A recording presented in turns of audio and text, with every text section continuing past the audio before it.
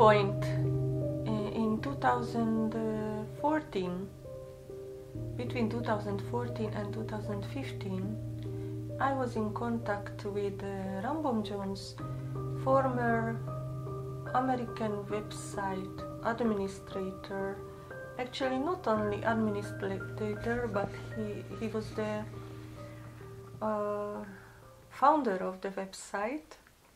He was the webmaster of the dharmasangha.com website, uh, which was one of Bomjon's two official websites those times. And he was in contact with Bomjon's most insider followers, and uh, especially with Pragya Ratna Ghullu, and that time Theravada monk. Now he is disrobed by his own will and married, and uh, Kim Nguyen, a Vietnamese Californian, and uh, the so-called elite of Ram Bahadur Bomjon's cult. And so uh, these people uh, had uh, been telling him very interesting things, but uh, Ivan, uh, whose nickname was Giovanni on the Google group, Buddha Boy Google group, uh, Ivan was uh, starting to have doubts about Ram Bomjon already when he contacted me and I told him the whole story. But he heard it, of course, from different other sources and he only wanted to get more confirmation. So he, he was one leg out, one leg still in. Uh, and he tried to reform the cult of Bomjon so that it becomes more ethical, but uh, it's difficult to reform a cult of which the main program is to do human sacrifices. And the main program is to fanatically bow to and worship a human being as the only divine incarnation on this earth. And so, but he did his best. And uh, I know this situation when you are in a cult, the most difficult part is always to become disappointed in your friends, in the, the community. Uh, that, that breaks down many cult leaders and uh, of course it was a huge pain and suffering for me also and um, ivan was also uh, unable to uh, accept that Pragya Ratna Ghullu, Kim Nguyen, and many of his uh, cult member friends had been actually doing dark activities, helping Bomjon to not only kidnap, torture people, but even cover these crimes up, and they were lying. And they were lying from the very beginning, so not only to cover up the crimes, but also to create, um, how to say, um, an environment of uh, enticing crowds and crowds of people. So they were creating the uh, gospel of Bomjon with all these lies, how big he is, how divine he is, and spreading here and there gossips about his about people uh, whom he picked up to be uh, sacrificed. I call it sacrifice because his uh, countless uh, kidnappings, attacks, tortures, rapes, and murders of human beings have no justification.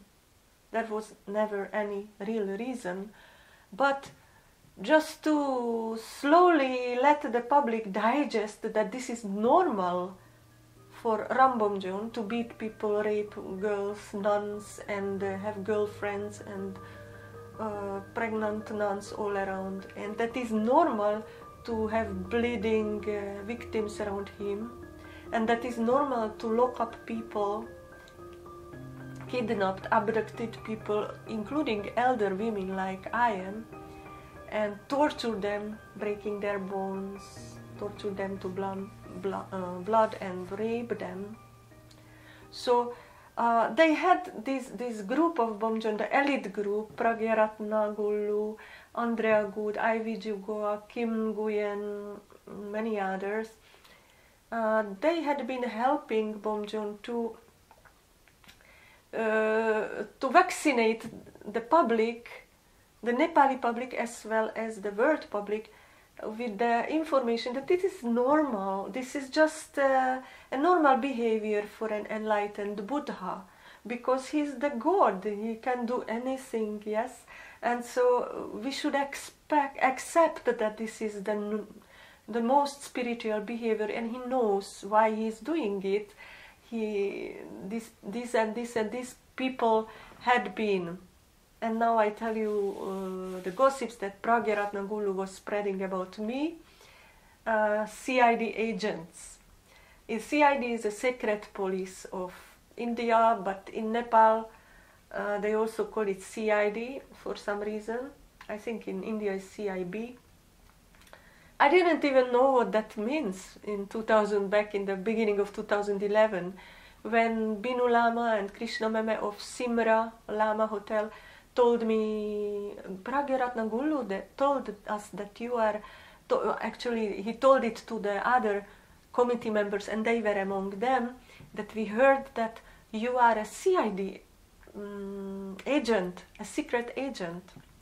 And then I am a Vatican agent although I am interested in Hinduism and yoga from my 16th years, but uh, they accuse me Nepalis that I am a Vatican agent. And then Pragya Ratna Ghullu back in 2011 spread also that I was regularly, I was living already in Simra town that time when he spread this uh, gossip, that I was regularly, secretly coming at night to the jungle compound of, of Ram Bomjon. Inside, I climbed inside all these barbed wire fences. I don't know how I didn't harm myself with all these barbed wires, but this was the claim. And plus, I, I was supposed to climb a tree near Bomjon's uh, meditation banyan tree. Although we already long ago know that he's, he was not sitting there during the nights. But okay, this was the gossip. And that I had an infrared camera and I was filming him while he was doing some kind of miracles uh, during his meditation at night in Halkhoriya.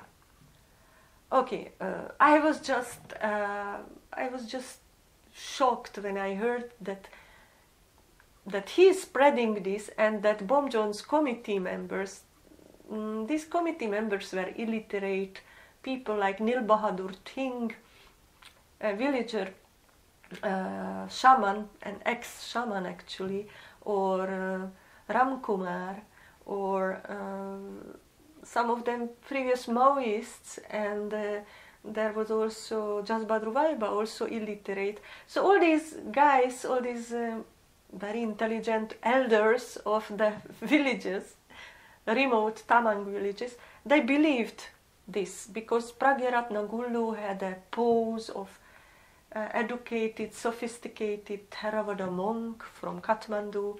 So everyone was believing what he was telling about me. And uh, these gossips about me started to um, upgrade, to be upgraded on the later months of 2011 but uh, now I already 100% sure that these gossips had been instructed to Pragya Ratna Ghullu directly by Ram Bomjon. Uh, because Ram Bomjon is the biggest liar about uh, anything, about himself, about people whom he wants to harm. And so uh, Ram Bomjon was, in my own eyes, he was lying about me too uh, his followers that I am a disturber of his meditation, which is totally impossible because I myself uh, gave up everything in Europe just to be and serve him and volunteer in his compound. And I myself cared more about my own meditation. I went to the jungle to meditate, continuing my own yoga practice. And anyway, so this Pragya Ghullu was spreading uh, that uh, later on that I am also a witch. It's called Bokshi in Nepali, and that uh, I planned. I came from Europe giving up all, selling all my things, giving away, finishing my relationship. I only came to Nepal just to destroy Bomjon and kill him. This was the story behind uh, why Bomjon could justify his followers uh, that he had to kidnap me, catch me, and torture me. And uh, we know from the news media that actually he was doing similar things with all his other victims, including the murder victim of Sanjalal Vaiba, whom he also accused of witchcraft, and Mata Ani, he also accused of witchcraft. So this Pragya Ratna Ghullu, the Theravada monk, all these dirty things he was spreading about me, still when he was wearing the uh, Buddhist monk robe and he was praying in the mornings. Plus, he told that I am a kind of uh, ghost uh, which is called Masani in Nepali. This is a special phenomenon. Nepalis have a very sophisticated uh, teaching about ghosts, uh, mm, witches, all kind of uh, secret dark beings and uh, so they believe all this. And that uh, the final version was that i actually came to nepal with the sole reason uh, my last salary's money collecting my last money uh, to, for the sole reason to kill Bomjon and to harm him although I was one of the most active propagators of Bomjon, and I spread everywhere that he is a divine being, he's an enlightened Buddha, etc. Anyway, the, the secret teaching about me, the instructions from Bomjon, was that I am an enemy. So this very same Pragya Ratna Ghullu was the friend of Ivan. Uh, long after I was already uh, a victim of Bomjon in 2012, and I already obviously left the cult. Um, and he contacted me, as many people contacted me to know the truth. Did Bomjon really torture me, mm, etc., the details. And uh, Pragya Ratna Ghullu uh, was uh, staying with Ivan in, even in one flat which Ivan was uh, renting in Kathmandu back in 2014 2015, just before uh, the Nepal earthquake 2015 was in April, March and April. So there are many dark events happening just before that. and Ivan told me that at one point it was cold outside, kind of winter, pouring rain. And uh, he enjoyed the friendship with, with the Pragya Ratna Ghullu and staying in that flat, comfortable flat. And they were chatting, and suddenly Pragya got a telephone call from directly from Ram Bahadur Bomjon. It was night, 10 o'clock, something like that. Bomjon told him, and it was in Kathmandu, and Bomjon told him that he had to immediately uh, travel to Halkhoriya jungle and uh, he had a task to and now I don't really recall exactly because the conversation with um, Ivan was on Skype. Uh, so it was either that Pragya had to bring something to Halkhoriya, but most probable that he had to go there. He had a task to bring something out from Halkhoriya jungle. Extremely important task from Bomjon, the guru. 10 o'clock, 11 o'clock at night in pouring rain. And uh, Pragya was used to, this is how Ivan told me, Pragya was used to such kind of secret, mysterious tasks from Bomjon. And uh, Ivan was curious what can be so important that Bomjon is sending him at night in pouring rain. Obviously, he had to take a motorbike and cross the six kilometers of a dark jungle with tigers and elephants and bring out some object from Halkhoriya jungle.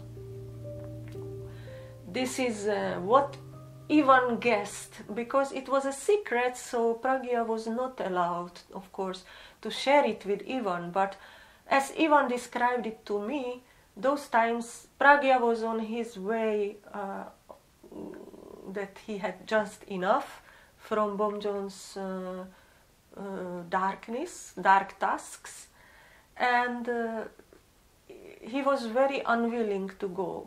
This is how Ivan described it. But it was an order from the Guru, the enlightened Buddha of Nepal. So he had to sit on a motorbike in the pouring rain and travel to the Halkhoriya jungle in another district, Bara district.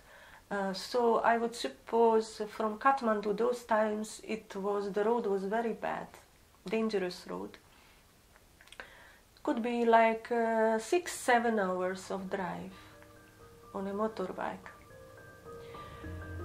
Uh, or could be shorter actually on a motorbike. It would be on bus six, seven hours, on a motorbike five hours. He could manage it. And uh, he did, he, he went there.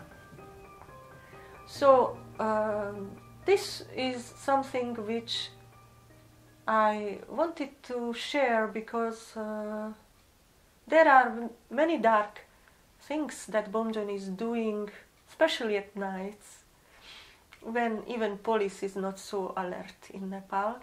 And uh, he is uh, sharing his uh, crimes with other people so that they get the bad uh, conscience and they uh, cannot ever share with the public and police what Bomjon is doing because in the moment they would share it, they themselves, like Pragya, would be also prosecuted as uh, accomplices.